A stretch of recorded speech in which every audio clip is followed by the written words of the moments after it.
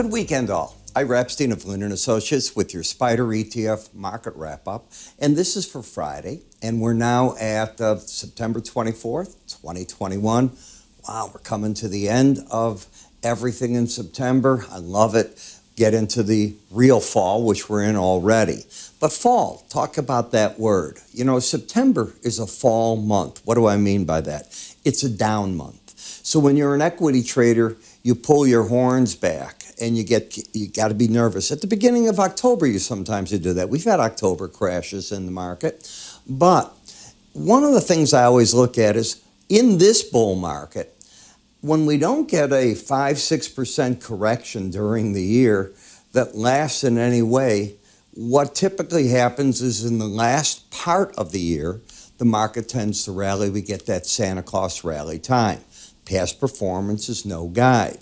I don't like some of the things I've seen, and I pointed that out to you on the daily charts. They're throwing out mixed signals, things they haven't done before by staying under uh, their 18 day moving average of closes longer than they normally do and dropping a bit further. So, yes, there's been some damage, technically speaking, to the dailies, but we haven't shown the weeklies. So, let's go to the weeklies and see what we have. When we look at XLK, our technology sector, you can see how the market's been in a correction. We've come just from the 160 area. This week we got to 150.35. So we've had a pretty good correction. When we take a look at the swing line indicator, and what the swing line does is you take this chart and I created an indicator many years ago, and it's in all my charting software programs, where you look to see do you have a higher high week, a lower low, an inside week, an outside week, up or down. There's no secret to it. What I'm looking for is the traditional pattern that bull markets make higher highs, higher lows, bear markets make lower highs, lower lows, and nothing markets in some manner make a higher high and a lower low, and they wobble on you more times than that. You've got right here what? If we take a look, the break this week was 150.35. You've taken out 151.21, so you have a wobble. You have the higher high, the lower low. Where's the support in the market? Each time this market is broken recently to the 18 week average of closes within short order, very short order, the market has found its footing and turned back to the upside. You came down, you, that number's 150, 104, you're $5 over it. So the same theory is working, and you have stepped out of trends when that's happened before. Nothing unusual on this chart.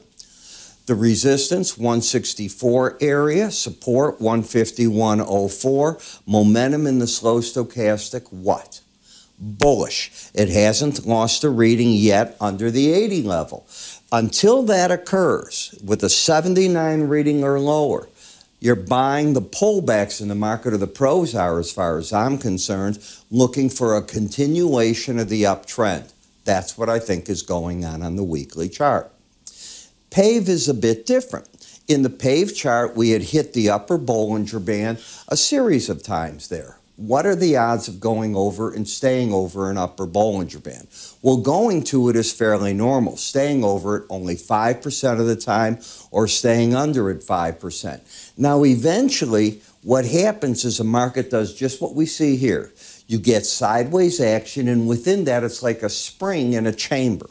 It's winding itself up. In that wind up, we develop a pattern called the psychiatry trade.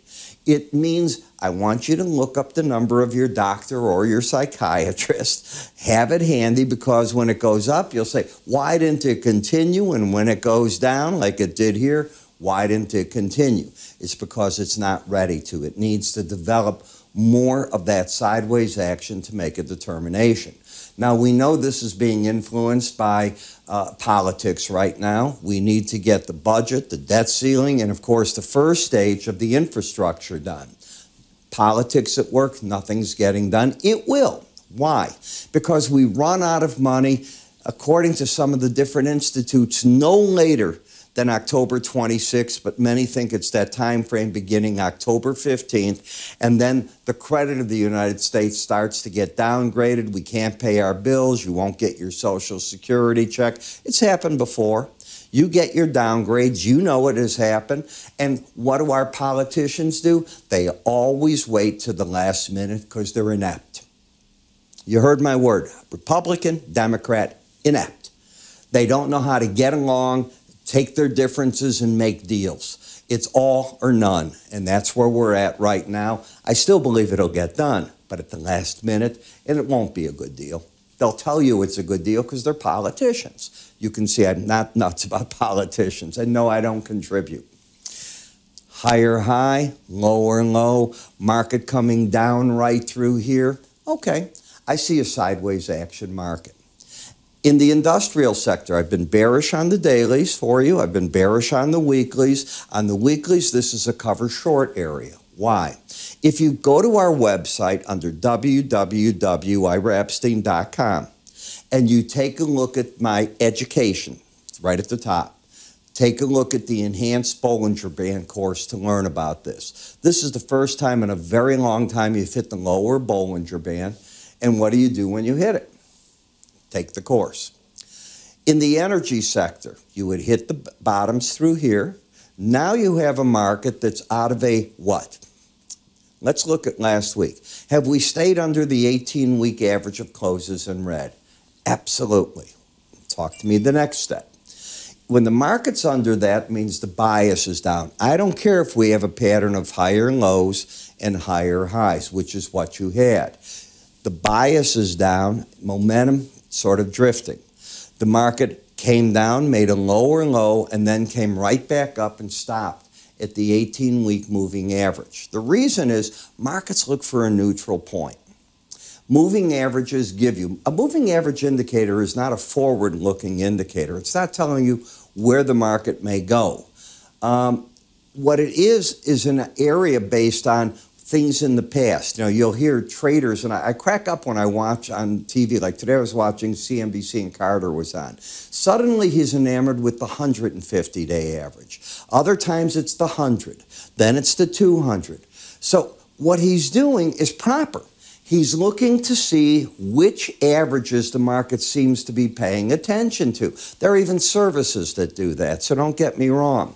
But I, I want to make my life easier than that. But he, he has a good point. He's an excellent chartist.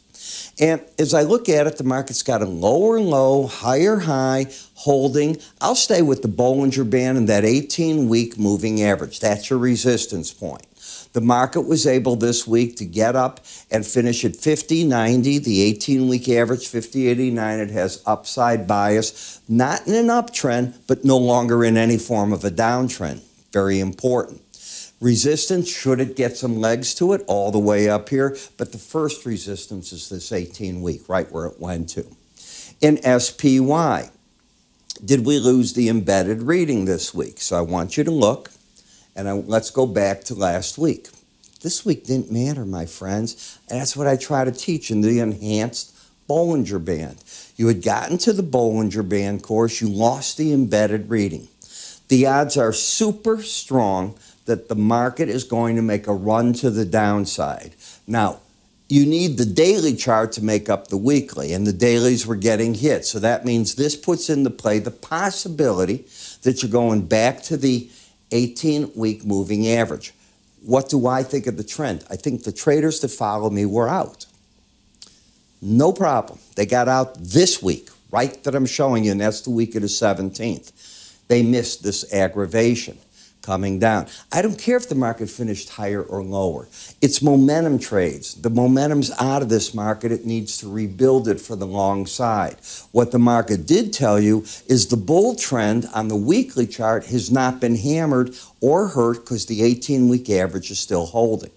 That's not true with emerging markets. They got under and they've been fighting the 18 week average. What they're saying is, as they've probed lower numbers, is they're going to respect the lower Bollinger Band, but there's nothing in a trend here. You seem to be caught between the lower bands, the 18 week average. When that pattern changes, there'll be something to talk about. It's not here now. And I know most of you that watch this are looking for the buy signal, so we'll stay with that, that concept in GLD. higher high, but you've had a lower low. What are you trying to make something good out of? There's nothing there. And the market's been a failure over and over and over since May as the market has gotten to that number and not able to build on it in any way. What it's had zero problem with is follow through to the downside to at least the 100 day average. So the bias is still down in the market, momentum is still down, but oversold. Oversold is a filter. It tells you, hey, am I looking to put on new shorts? Maybe I shouldn't be. Got it? And I know most of you don't trade the short side. But for the pro that does, that's it. And for you, it's a sign, okay, maybe the downside's wearing itself out. That's how you have to look at it. In GDX, you still have an embedded reading. These numbers are all staying, watch this, under 20, both numbers under 20, under 20. You got an embedded reading. So until the red line closes, what? Over 21, I'm even more bearish. It gets worse, not better. You just had a bearish crossover taking place. You're going to have that when you reopen on Monday. What's going to happen? The 18 week moving average of closes is going to drop under the 100. It only needs 12 cents to do it, and it's been moving easily more than that each week, and you had a big break week this week, the, that's what's going to happen. That's another bearish scenario onto the market. So I see a lot of resistance up there, and I see a market that's in serious trouble. When we come to ARK, all the play is out of ARK. This was when the Reddit people noticed something very important. This is when they went away. By making sense? I hope I am to you. Understand what goes on in these markets. One of my favorite guys that I used to work with, Peter Eliades. And Peter had in different cycles the psychology of the cycles. I loved it. I didn't use that in my trading, but I loved the concept and I took it to this. And that's how you learn. And what I was watching is how this market was just drifting through here, and that's all you're doing. You have a market that's got the swing line up, the bias down, momentum down, you're going nowhere temporarily. Amazon, up here, I was saying to you, I think the bull trend ended in Amazon. I certainly did it, as you know, on the daily charts as we were talking. It's not about me calling it. I'm not telling you to buy or sell. I'm talking the general momentum here. And that was lost. Now, what happens with Christmas? Because you got to start saying, mm-hmm, are people going to come back to Amazon because of that? So we watch. What is the trend of the market? Ah, the trend is down. You still have lower highs, lower lows. You negated it going home because the market was able to close over the 18 week average and put the bias to the upside. Momentum is flat. Interesting market. I'd be waiting on it. Apple. Could I have been any clearer if you were watching me each day how much I disliked the new Apple 13 unless you were buying it for the camera, which is stellar, or more battery life. But to tell me that I've, I've got a 10 in my pocket, okay? Uh, my wife has obviously the new one because she spends the money. But to make a long story short, why would I go out and trade it in for that? I'm already reading about the 14 and that's got my interest. That seems to be where the changes are going to come in, the big ones. Uh, be it the operating system, the front touch buttons, how everything's going to disappear, front facing camera, different way, a little dot in it. Everything I'm reading and it's got better processing. I'm looking at that one. So I already have saved my money and I will wait for that one to come out, but I'll bet that I'm one of the first on the list if it comes out anything like what I'm reading. So you save your money a little bit. Well, do you think I'm the only guy that saw that? I'm not the world's smartest guy out there, but I saw it and I'm going, well, what do I accomplish? There's no 5G to speak of in Chicago. They advertise it, but there's no 5G. Do you have 5G in your neighborhood? Really? Do you have it? Okay. So now take a trip with your family. Do you have 5G where you're going? Not worried about that. All right. TLT, market made a top against, and it's been doing it, against the 100 week moving average of closes. You can't deny that. Momentum turning down. Now we have a higher high and a lower low. You're still not under that 18 week average. And I'm not convinced that you're going to see the 10 year note all of a sudden back up to 175. It's at 145 going home. I think it'll have trouble 1 5, one five then 155 and 1 6. That's what I'm thinking. I don't think this thing's running away on people. And why do I say that? Because you were unable to close and get the momentum of the market. You got down, but not the bias. Not in love with that. DBA, you've had lower high, well, actually a higher high and lower low, but now an outside week up. Uh oh. Until you take out the low of an outside week in the week after or the week after that, it's a sign the market is changing its character. And that's what I think is going on. Momentum has been working down and it's no longer overbought. So I'm definitely watching this. Now, this is the Ag Fund, and I'm watching what soybeans are doing and so on. I've got my eyes on it. So when you put it all together and you try to come up with what to do with these charts, well, that's where I want to step in and be the guy that you look for. Don't go away. Let me make something clear to you. I don't know what you do, but the first thing I want to look at in the morning when I wake up I'm not just opening and reading. Where are the markets? The second thing that I do, okay, now I see where they're at. What's the events of the day? You most likely don't do that. I bring that to you in my morning videos. What are the reports of the day, where you're going, how they're working? The third thing I bring to you is what you probably really want to see. What does a chartist, instead at the end of the day, as you're watching these chart things or you're waiting like this, okay, when's CNBC chartist going to come on? When are we going to see something on Bloomberg? You go right to me first thing in the morning, and in the morning I'm going to do the futures first. I'm recording at 5:40 a.m. Central Time, covering all these markets for you. Why? The reason why is because the ETFs are going to be based on them and they're going to open up at 8:30 Chicago time. So you're looking at them. No, I'm not interested in the pre-market. I'm interested in when the market opens. I want volume. I want what's going on. For the little bit you get or big volume on something that happened bad in pre-market, nah, the bid offer's not there the way it is when you open up the other way. At least that's what I believe. That's going to affect all these too.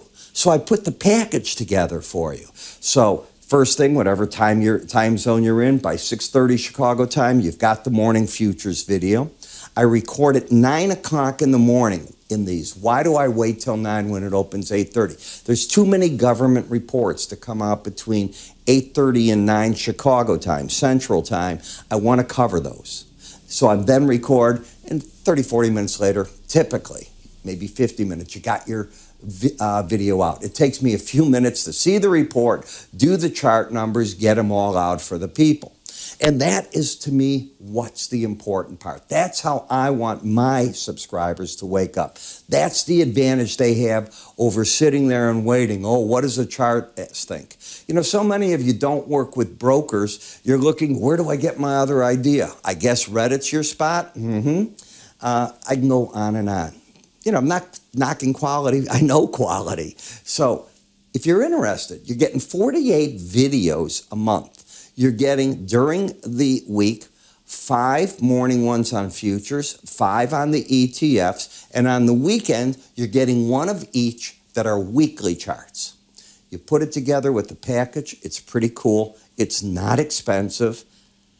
Commissions are free today. How frugal do you want to be? Go to our website, under the word research, it's all explained, and that's where you sign up. I'm Ira. Have a great weekend.